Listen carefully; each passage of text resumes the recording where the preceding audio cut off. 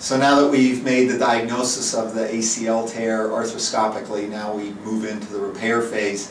And the repair is somewhat controversial. Uh, there are three competing techniques out there. One is a replacement technique with synthetic material.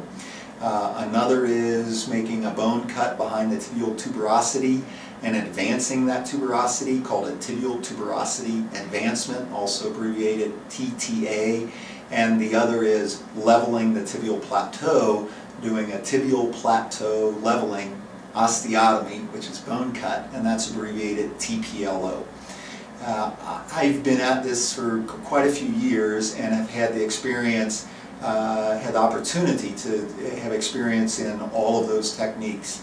Uh, the, the, the replacement technique I've done literally thousands of. I've done hundreds of the tibial tuberosity advancements and uh, again I've done thousands of the tibial plateau leveling osteotomies. And this could be a long-standing debate, but suffice it to say that at, with experience with all three of those, if my dog tore her ACL tomorrow, she'd get a tibial plateau leveling osteotomy, a TPLO. I mean, she's had one, but I wouldn't, wouldn't hesitate to do the same procedure on her other side if she tore her other side someday. And I will say the majority of board certified surgeon colleagues that I have uh, with experience of all those techniques feel the same way. And to some degree, it's what we're most comfortable with in our hands. But uh, I think the tibial plateau leveling osteotomy is the gold standard right now, has been for a decade and is still right now for canine ACL repairs. And I have a little illustration on how that works. And uh, this is the same illustration that we had uh, before looking at the anatomy.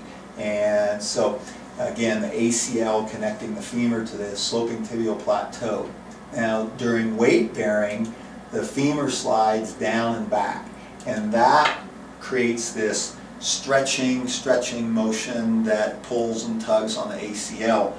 Uh, and so that's the mechanism. So arthroscopically, we clean that up and once we're finished cleaning that up, then with a very specific bone saw, we make a slick cut, do the rotation, and, and fix a bone plate into position. The bone heals wonderfully, and of the many thousands of TPLOs that we've done, we've never had an osteotomy not heal well. Uh, and bone is the best healing structure in the body. All tissues in the body, connective tissues in the body, for the most part, heal together with scar tissue.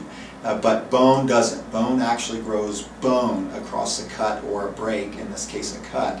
And uh, it goes back to nearly or as the original strength.